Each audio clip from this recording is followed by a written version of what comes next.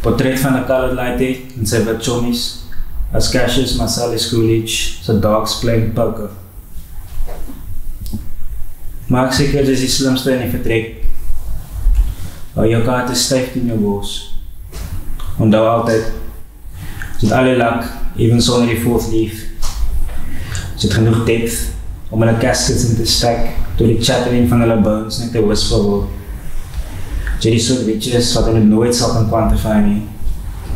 Maar meeste van alles, jy haat.